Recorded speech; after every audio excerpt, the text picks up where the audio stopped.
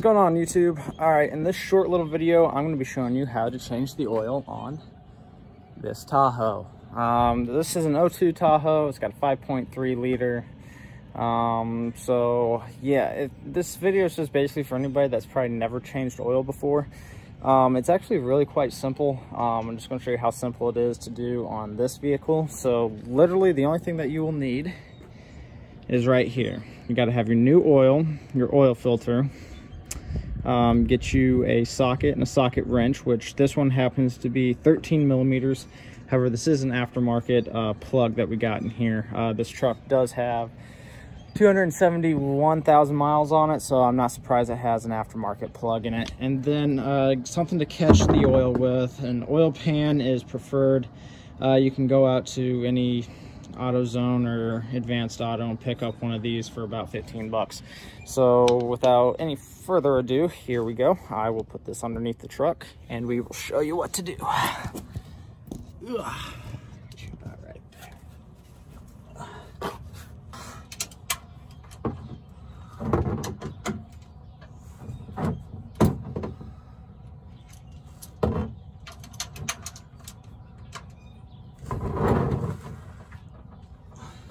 wrong way.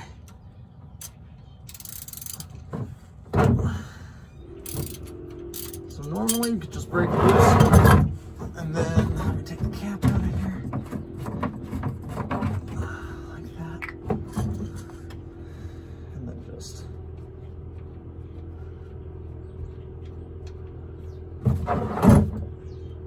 sure you aim it.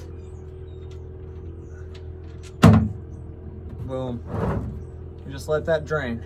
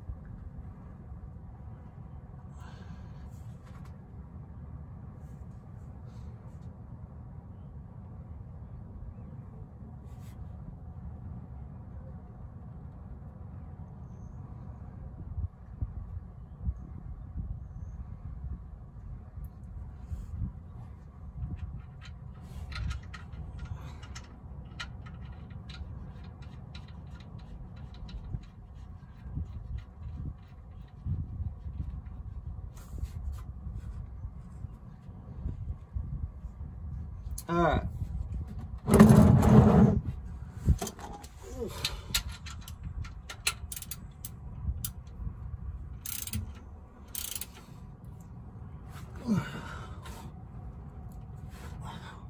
Once that's done draining out, um, put the plug back in and get it hand tight. After that, we got to take the filter out. So mine's right here, and you'll see here in a second. Um, for different cars, will be in different places. Um, but for the Tahoe, Silverado, Sierra, Yukons, um, basically any GM truck, it's going to be about right here. So I just gotta. Uh,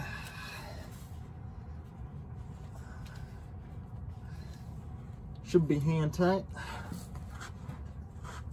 I just got a grip on mine.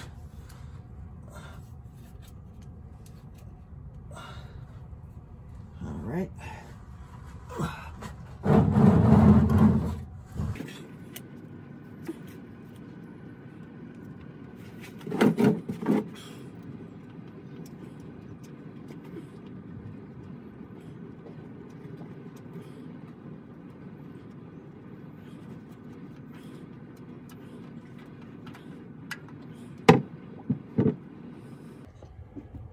Now, when it comes to priming or um, putting your new oil filter in, so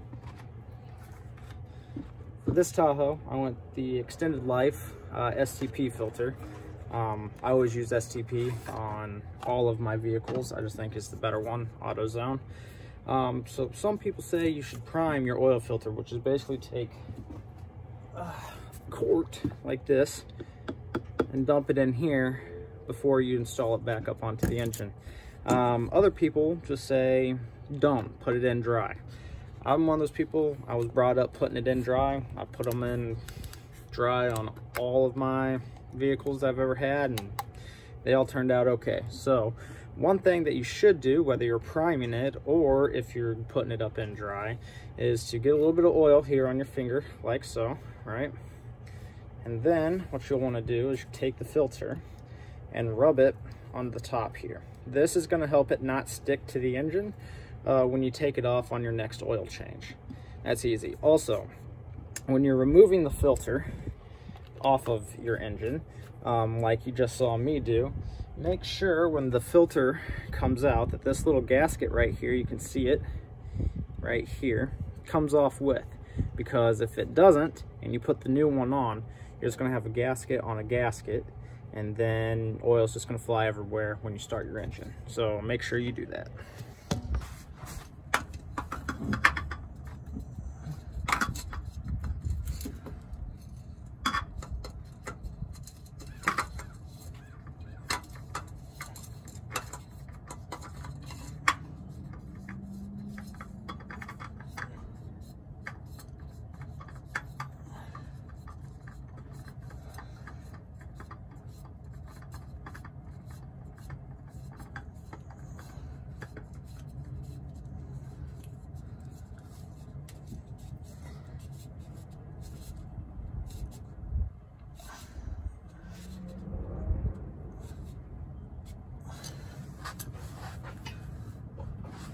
Now that we've got that out of the way, here comes the easiest part.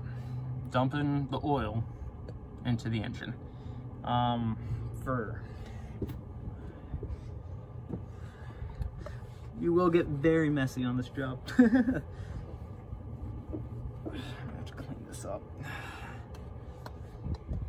Don't ever do that to a vehicle you care about, taking an oily rag and rubbing on the paint. Like I said, this thing has 270,000 miles, so I really don't give a shit, but don't do that on a regular one. Uh, okay, so you're gonna take the oil, and then right here,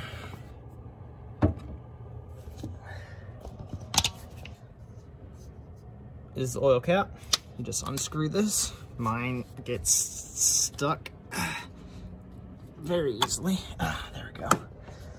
And then you just dump it in. Now I am gonna use both hands to dump this in let you sit up here on the engine.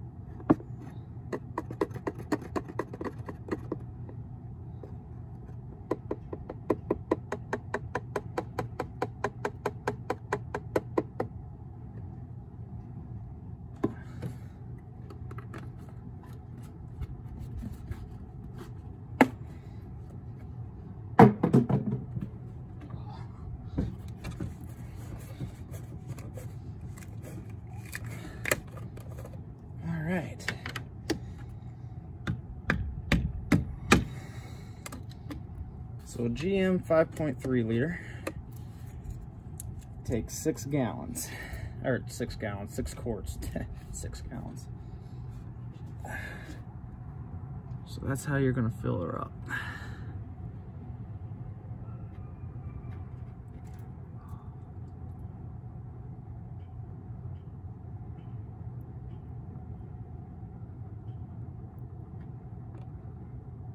Best way to do this is to get a funnel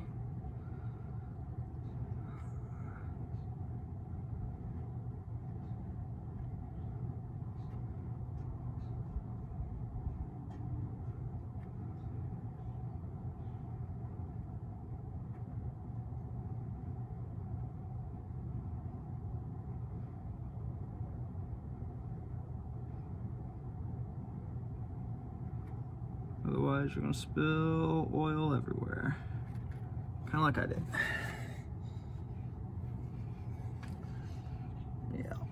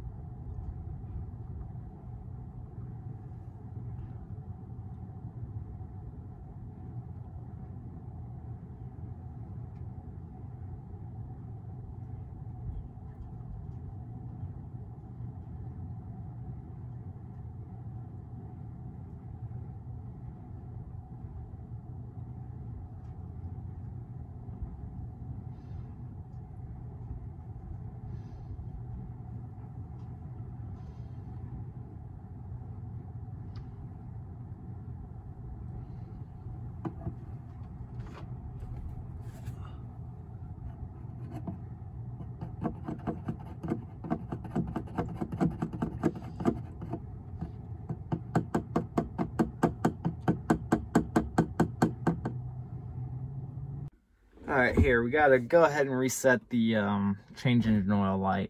So the way you do that is once you get in the car, take your key, all right, and turn it on to run. Do not actually turn the car on, but turn it to run. When it does that, press the gas pedal three times within five seconds. So one, two, three. When it does that, the check engine oil light should blink for five seconds. And then turn off. Okay, then you turn the engine on. She's on. And now it's still blinking if it still blinks, you just do the whole process over again. I'm gonna let mine run for a second so you go ahead and um, get the oil circulating, which is what you should do. Um, yep, so this is how you change the oil on a 2002 Tahoe. Um, if you like this video, um, give me a thumbs up. Um, if you want more content like this, please subscribe to the channel. Um, and leave a comment if you have any suggestions on what I could do next because this Tahoe, um, with it being as old as it is, is kind of more of my project vehicle than my Challenger. Uh, my Challenger is kind of like my baby, you know?